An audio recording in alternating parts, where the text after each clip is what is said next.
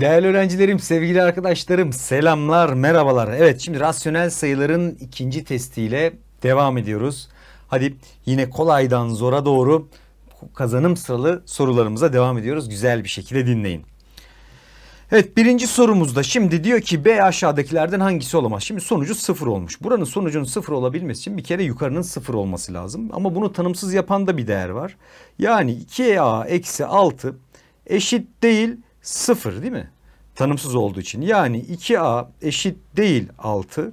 Yani A değerimiz kaçtan farklı? 3'ten farklı bir değer. Bu tamam. Şimdi yük 0 olabilmesi için sonucunun ise 2A'nın 3B'ye ne olması lazım? Eşit. Şimdi A 3 olamayacaksa 3 yaz buraya. Burası 6 yapar. 3B eşittir 6. Her iki tarafı 3'e böl. B de neye eşit olamaz? 2'ye eşit olamaz. 3B 6 ise B de 2'ye eşit olamaz. Birinci sorumuzun cevabı Bursa. Tamam mı? Tanımsızlık paydayı sıfır yapan değer kesrimizi ne yapıyordur? Tanımsız yapıyordur. İkinci sorumuz A sayısını tanımlamış. A sayısının hangi değeri için B sayısı hesaplanamaz? Bu sefer A sayısı için B'nin hesaplanamayacağını soruyor. Şimdi bir bakalım. Biz burada şuradan bir içler dışlar çarpımı yapacağız değil mi? Ne olacak? A çarpı 4B olacak. Sonra A çarpı eksi 3'ten eksi 3A eşitmiş 2B eksi 1'e. Şimdi B'ler birbirlerini götürürse eğer ne yapamam? Hesap yapamam. Şimdi karşı tarafta kaç B var? 2B.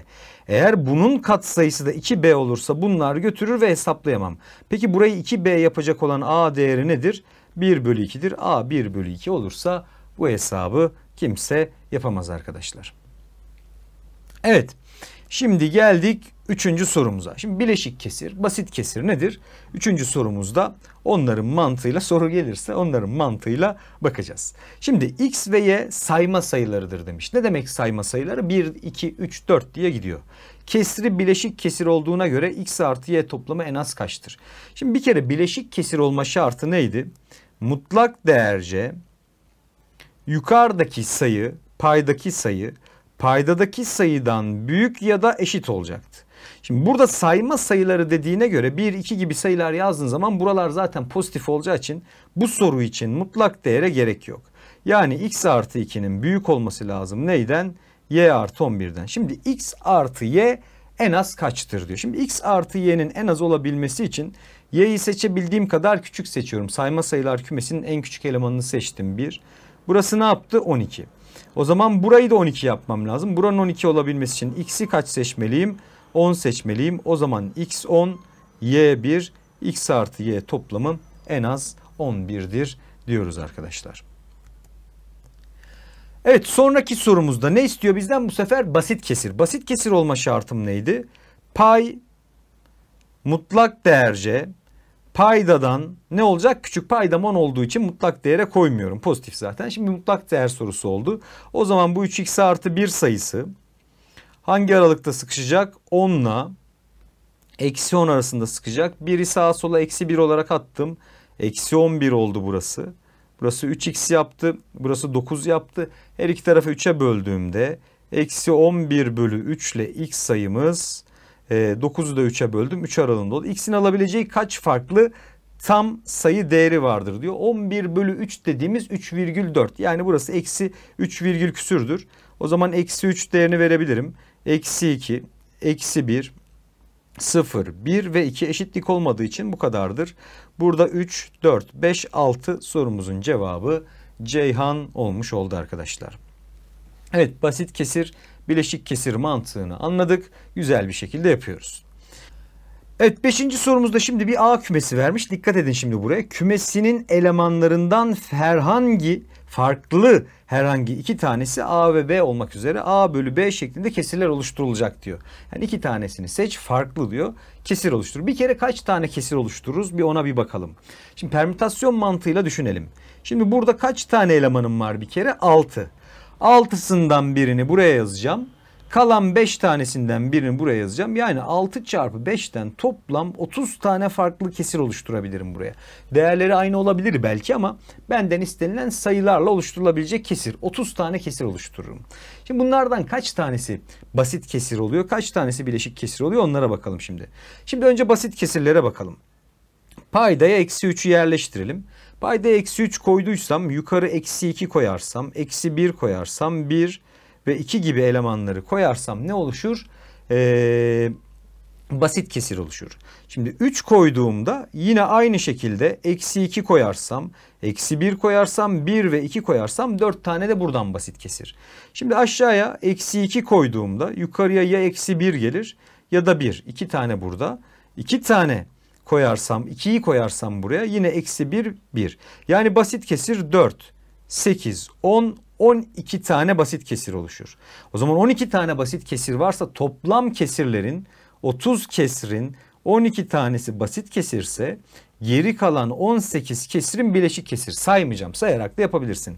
Bileşik kesir sayısı 18 basit kesir sayısı 12 çıkardığım zaman 18 eksi 12'den sorumuzun cevabı 6 Adana olmuş oldu sorumuzun cevabı. Anladık mı?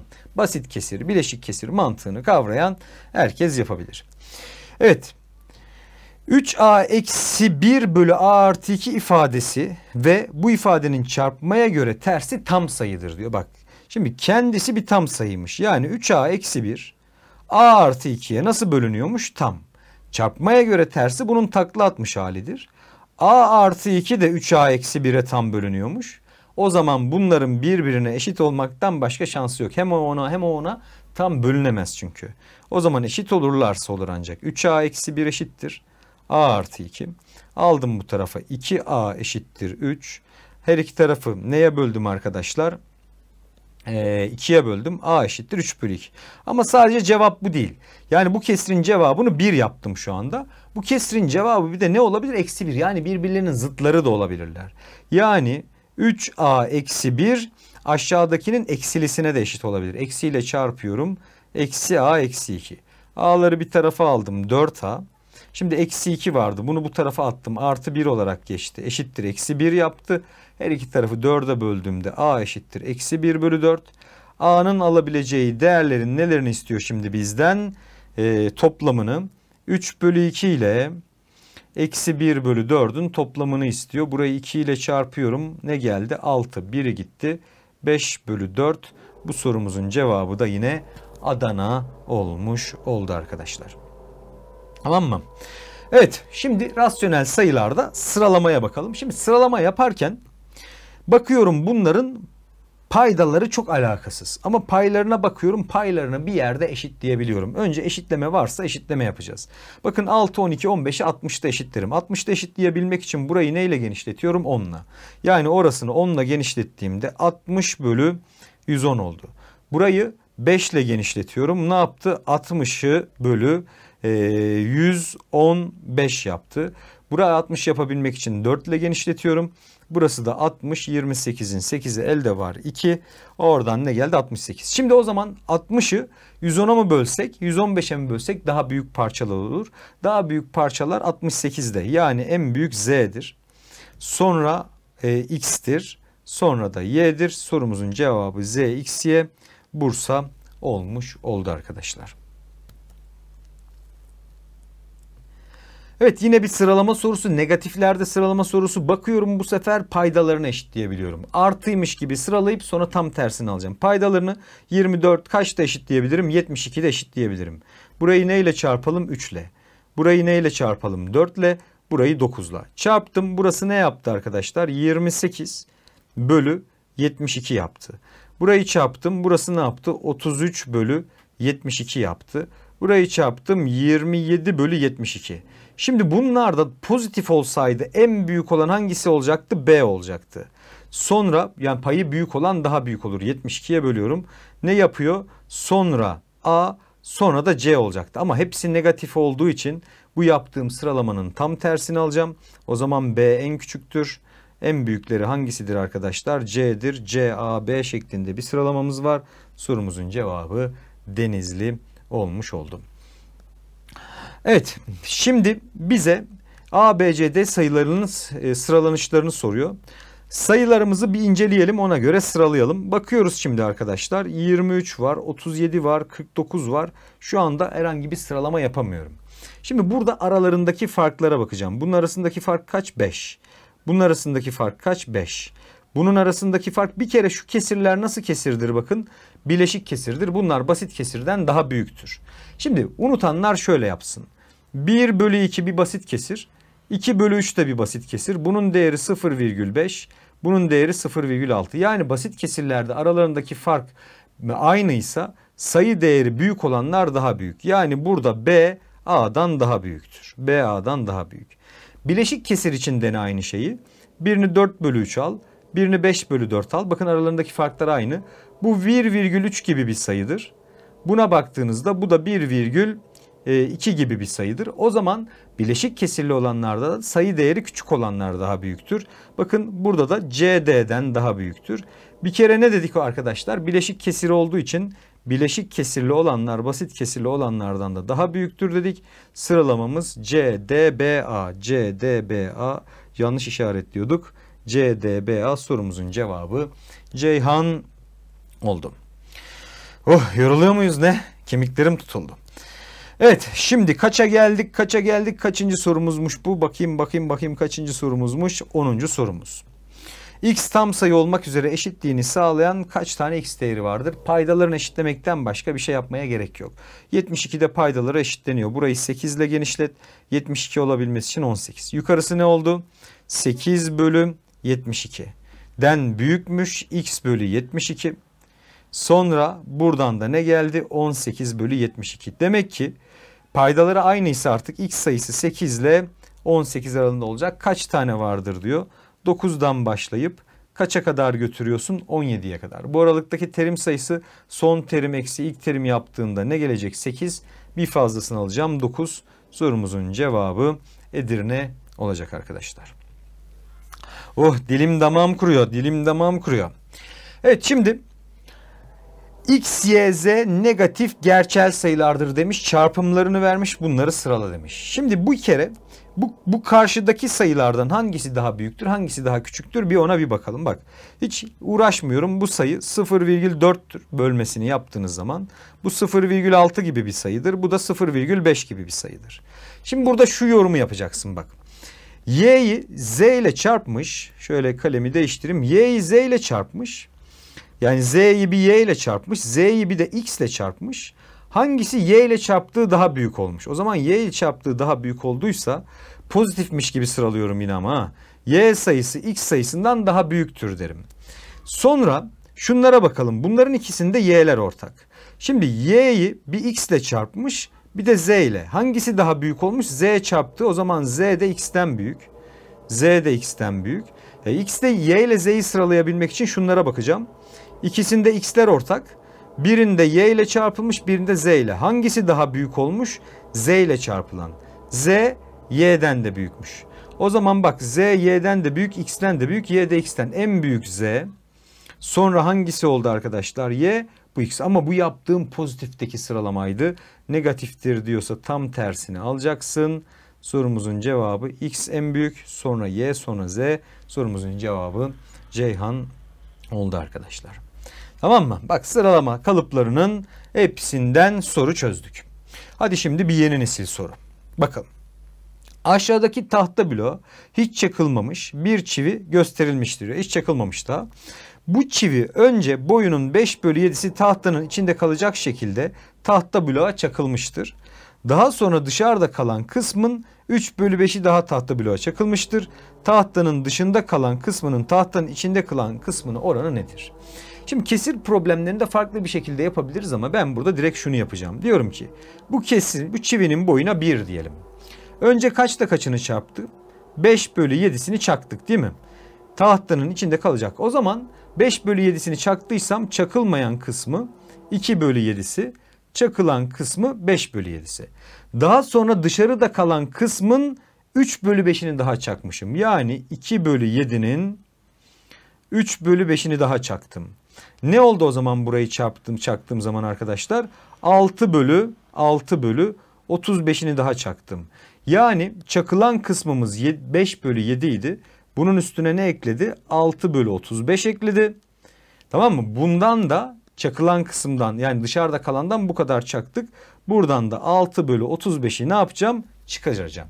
Yani çakıldıysa dışarıda kalandan çıkacak. içeri giren eklenecek. Bitti işim. Hadi şimdi payda eşitleyip bitirelim. Şurayı 5 ile çarpıyorum. 10 yaptı. 10'un 4'ü gitti. E, 6'sı gitti. 4 bölü 35'i dışarıda kalmış. Burayı 5 ile çarpıyorum şimdi. 25. E, topladım burayı ne yaptım? 31. 31 bölü 35'i de neredeymiş? İçerideymiş. Ne istiyor? Dışında kalanın içinde kalanı oranını. Yani 4 bölü 35'in neye oranını istiyor? 31 bölü 35'e oranını istiyor. 35'ler zaten götürür. Sorumuzun cevabı 4 bölü 31 olmuş olur. Cevap Edirne arkadaşlar. Tamam mı? Güzel soruydu. Hadi devam edelim şimdi.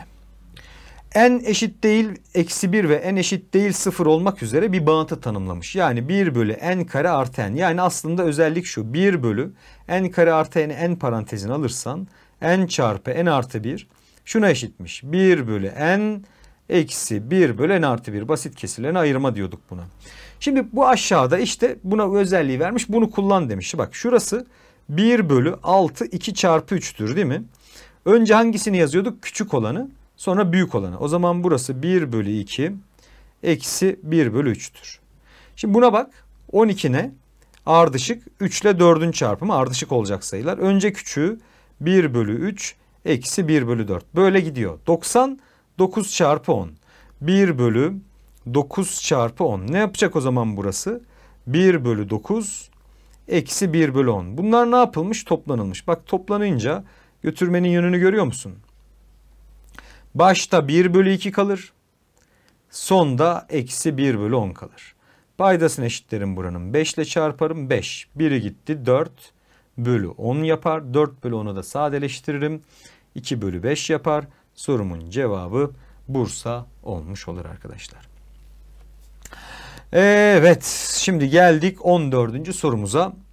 Yine sınav tarzı bir soru. Çok zor değil, çok kolay da değil. Mantığını anlayan herkes yapar. Kenar uzunlukları 3 bölü 5 ve 1 bölü 3 santimetre olan kare şeklindeki fayanslar arasında boşluk olmayacak şekilde yan yana dizilmiştir diyor. Her birinden eşit sayıda fayans kullanarak oluşan şeklin taban uzunluğu 28 olmuş. Bir kere bak. Şurayla şuranın toplamı nedir bir bakalım. Eşit sayıda kullanılmış sonuçta. Bundan da x, bundan da x. Yani 3 bölü 5 artı 1 bölü 3. Bir tanesinin uzunluğu. Her birinden x tane kullanılmış ve bunun sonucunda bu uzunlukların toplamı 28 santimetre olmuş. Sorun bitti. Payda eşitleyip bitirelim. Burayı 3 ile burayı 5 ile çarpalım. x çarpı buradan 9 gelir. Buradan 5 gelir. 14 bölü 15 yapar burası. Eşitmiş neye? 28'e. Şimdi 14x içler dışlar çarpımı yapıp 15'i de karşı atalım. 15 çarpı 28. Şimdi x'i bulabilmek için her iki tarafı neye bölelim? 14'e bölelim. Zaten cevap çıktı. 14'e böldüm. Ça, ça, ça, ça 2. 15 ile 2'yi çarptım. Sorumun cevabı 30. Kaç tane fayans kullanılmıştır diyor arkadaşlar. Burada toplam kaç tane fayans kullanılmıştır? 60 tane. 30 tane bundan, 30 tane bundan. 30 işaretleme sakın ayvayı yersin. Evet şimdi geldik son sorumuza. Yine Sınavda gelebilecek mantıkta bir soru. Aşağıda her bölmesinde bir tane içeceğin bulunduğu 15 adet kapasiteli ve bazı bölmeleri dolu içecek kapasitesi şey, kasası gösterilmiştir. 15 tane alabiliyormuş. Şunlar doluymuş sadece. Bu kasanın doluluk oranını dikkat buraya 1 bölü 3 azaltmak istiyor. Bakın 1 bölü 3 azaltacak. Şimdi şu anda toplam 15 yerin ne kadarı dolu bakalım? 1, 2, 3, 4, 5, 6, 7, 8 tanesi dolu. 1 bölü 3 oranında falan azalt demiyor. 1 bölü 3 azalt diyor. Yani doluluk oranının bunun sonucu olacak. 5 ile çarpıyorum. 5, 8'in 5'i gitti. 3 bölü 15 yapmanı istiyor doluluk oranını. 8 bölü 15'ti. 3 bölü 15'e düşürmek için bunun içerisindeki 8 taneden 5 tanesini ne yapmam lazım? Almam lazım. Sorumun cevabı Denizli olmuş oldu arkadaşlar. Evet ikinci testi de bitirdik. sırayla gümbür gümbür gümbür gümbür yardırdık gidiyoruz. Hadi kendinize iyi bakın. Görüşmek üzere. Bay bay.